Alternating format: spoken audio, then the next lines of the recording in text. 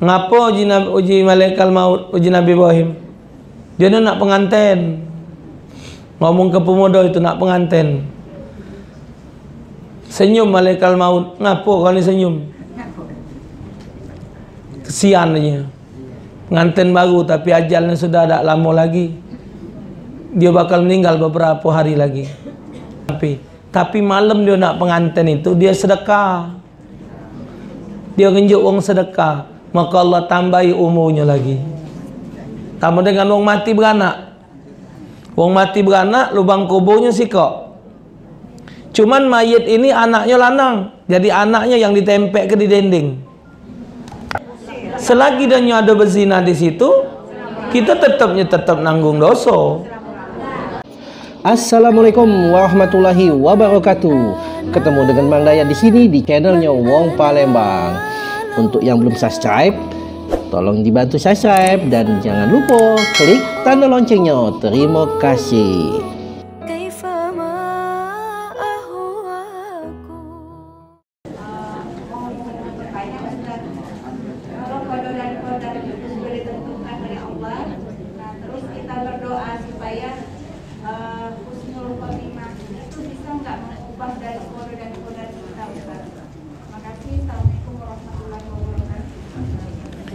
La yarudul qada du'a.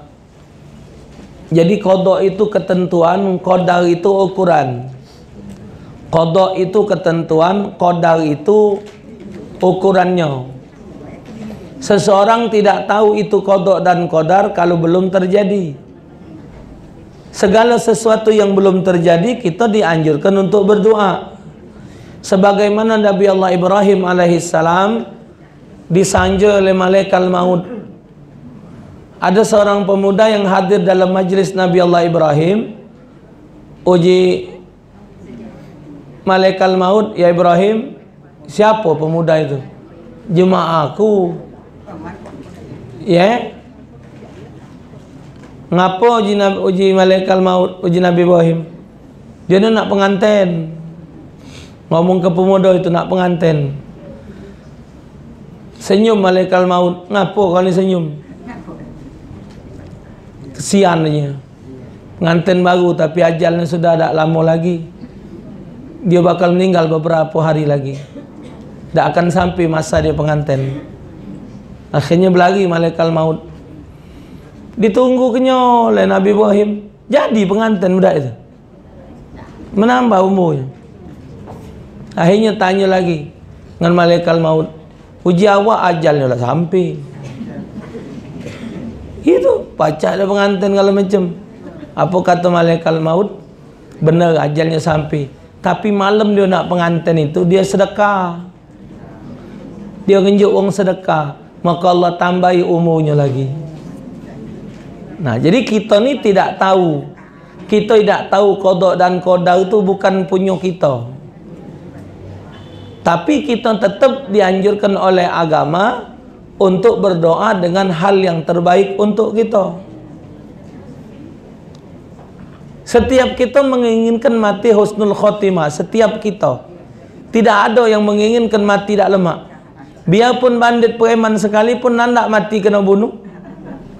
Tambah lagi orang alim. Tapi Sayyidina Abu Bakar meninggal dibunuh. Sayyidina Umar meninggal dibunuh. Kurang apa doanya? Hidup bersama Rasulullah berperang di medan perang sama Rasulullah. Tapi tidak meninggal di medan perang tapi meninggal ketika ngaji. Pasti beliau-beliau itu berdoa untuk hal yang baik. Tapi takdirnya memang sudah mati dibunuh. Eh ada yang mati ditombol di jalan.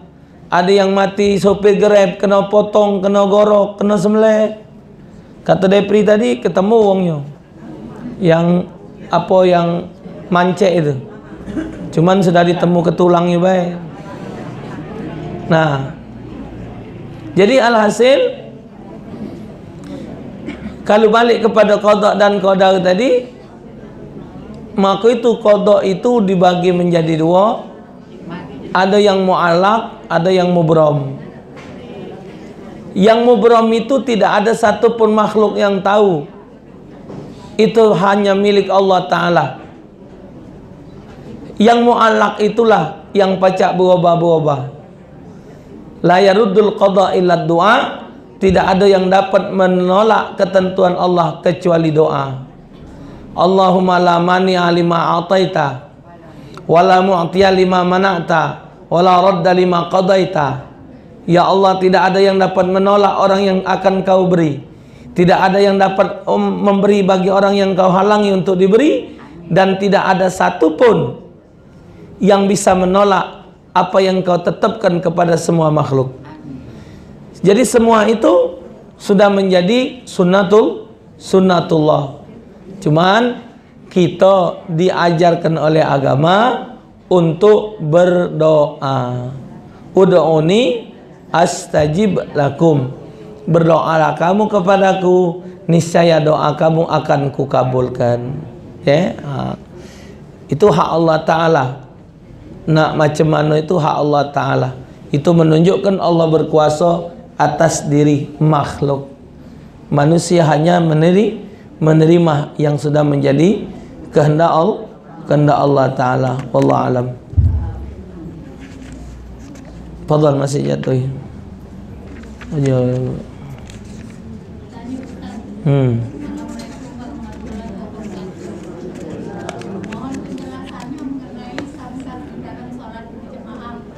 Nih.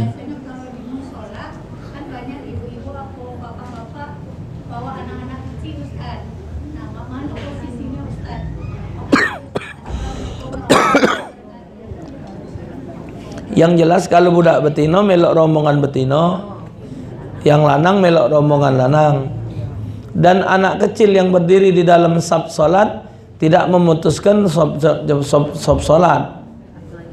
Jadi kalau bung tuang tua ada budak kecil, jadi tetap hukumannya sama. Asal jenisnya sama jenis. Ibu mentang-mentang punya anak lanang kecil, lantas nak ibu bagiskan sama dengan ibu, tidak sah jemaahnya.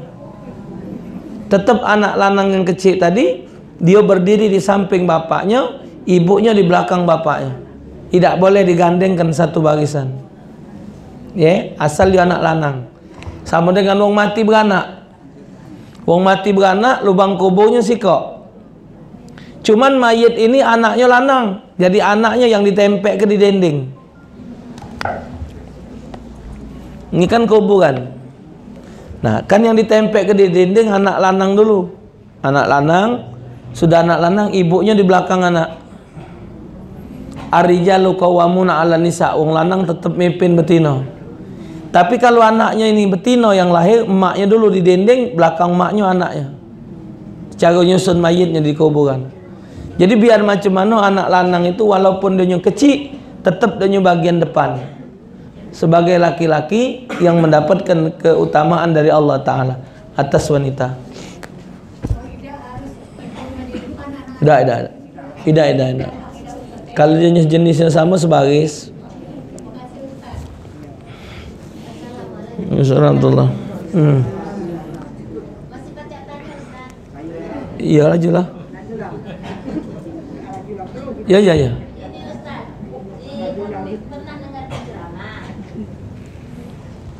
Kalau katanya orang berzina, tetangga di sebelah di kiri kanan dan muka belakang itu kena imbasnya 45 katanya. Nah, kemudian kalau kita yang kena imbas itu, cara cak mana cara kita bertaubat kah salat tobat atau kita minta istighfar mengucapkan istighfar yang berzina tu usir dari kampung.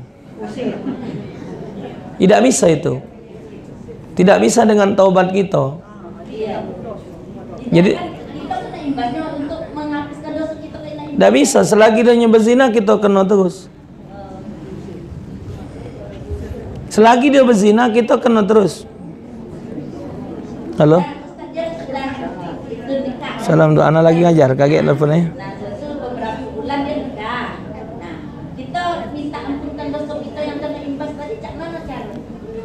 Yo kalau memang dia nyo uang berzina itu masih ada tak? Nah, tak baca. Selagi dia nyo ada berzina di situ, kita tetapnya tetap nanggung dosa.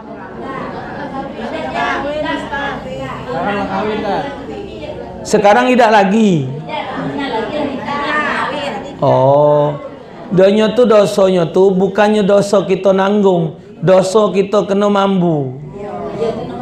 Jadi kalau kalau pun Allah turunkan azab, kita yang parah itu kena azab juga. Nah, kecuali kita nyingok nian dia berzina. Nah berzina dia kita melok nanggung dosanya. Kalau dia tahu be berzina tapi kita tidak ada nyingok majasnya, kita kena dosa dosa wilayah wae. Nah caranya ya kita minta ampun dengan Allah. Cuman kadang-kadang walaupun kita minta ampun sudah janji Allah. Wattaqu fitnatan la tusibanna alladzina zalamu minkum khassa. Hati-hati kamu dengan azab Allah yang Allah turunkan azab akibat kezaliman seseorang yang Allah azab bukan dia dewek tapi yang ada di sekitarnya kena juga.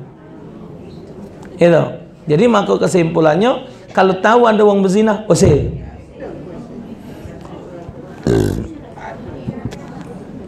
Makasih Ustaz. kalau mak mana kalau pernikahan tidak seagama dan tidak tapi Zina juga. Nikah yang tidak sama dengan agama zina juga. Jadi harus diusir. Jadi kawin kaget di Indonesia dengan dasar suka sama suka be. Nah, maka nak hati-hati bu.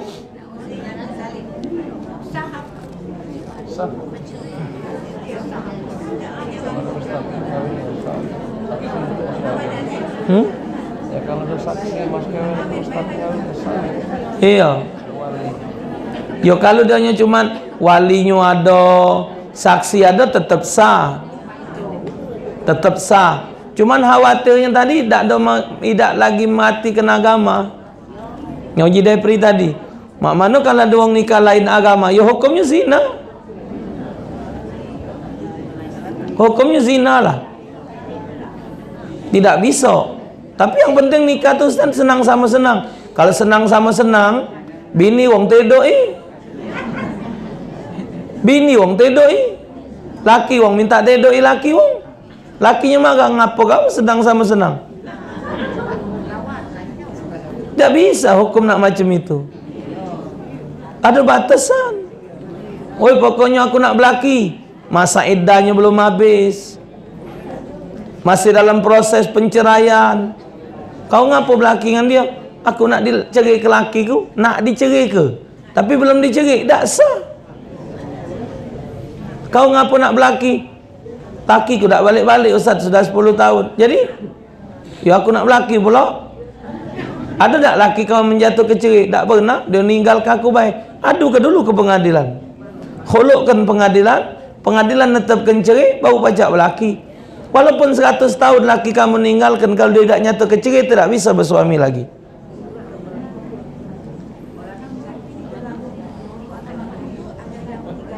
Yo kalau ngak kalau ngapau. Ya lapor. Lapor ke Departemen Agama. Lapor ke pengadilan bahwasanya suami Anda sudah dua tahun tidak balik. Saya tidak senang, mayal.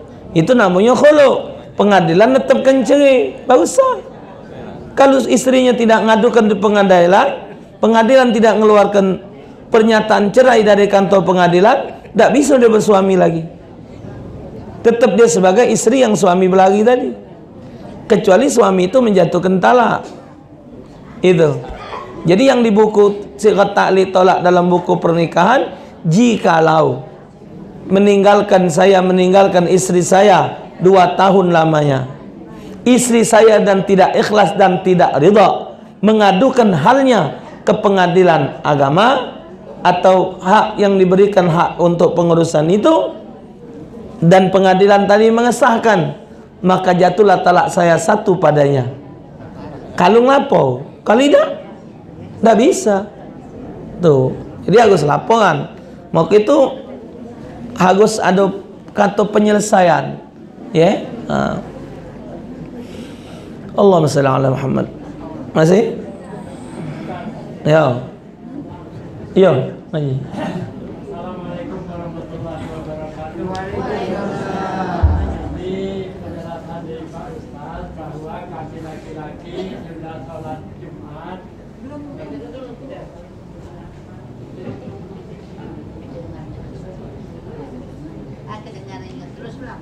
sudah sholat Jumat sebaiknya membaca Al-Fatihah tujuh kali, anak apa namanya Al-Ikhlas tujuh kali dan seterusnya. Mana yang lebih baik karena di kebiasaan masjid kami ini sudah sholat itu salawat, baca salawat. Jadi apa yang tujuh kali tujuh kali itu apa ikut salawat dulu. Terima kasih. Baca yang tujuh tadi. Pak Haji Mansur. Jadi kalau dalam hadis itu yang digawikan oleh Rasulullah selesai salat Jumat, habis salam kanan salam kiri, sebelum duduk beliau berubah, Nabi maca Fatihah tujuh kali, Al-Ikhlas tujuh kali, Al-Falaq tujuh kali, An-Nas tujuh kali. Tidak ada dalil Nabi maca salawat, tidak ada dalil Nabi maca ya latif. Yang dibaca Nabi sab'an sab'an tujuh tujuh. Doanya Allahumma ya ghani ya hamid Ya mubdi ma'id ya rahim ya wadud. Baca empat kali. Itulah amalan Nabi setelah salat Jumat. Jadi kalau ada nak baca yang lain dari situ silakan. Tapi kita bacalah wigit ini. Ya? Yeah?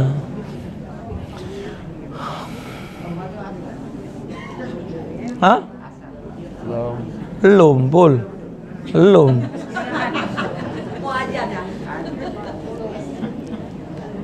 Habis.